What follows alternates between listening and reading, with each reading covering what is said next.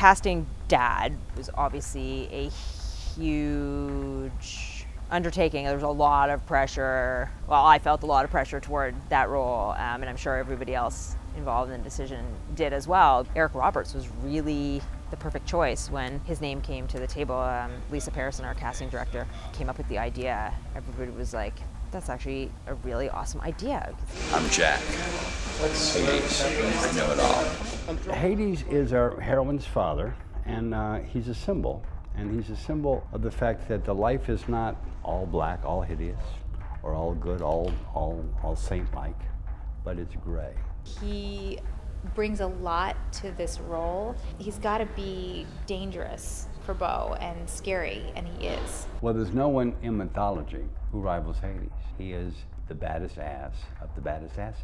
He can switch it to evil really quickly, uh, but he's also got that quality of, you know, when you first see him, he's sort of just like this handsome man who could be, uh, you know, your neighbor next door. Um, yeah, he was really a cool choice.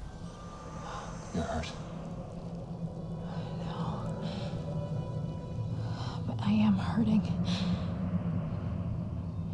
He marked me.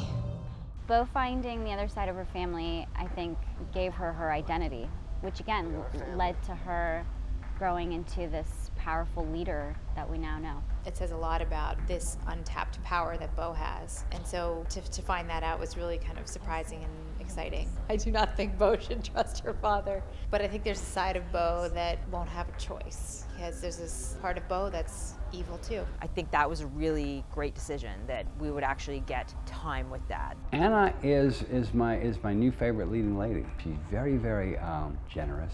She's very uh, prepared and she's kind and she's good in the part. You know, offset, he's a lot of fun and makes a lot of jokes and is really a pleasure to be around. But in the moments, we're performing together and he brings so much to it. And it's been a really, a really good learning experience for me working with him. I've been on movie sets now for 37 years and I've never been happier on a film set than Lost Girl.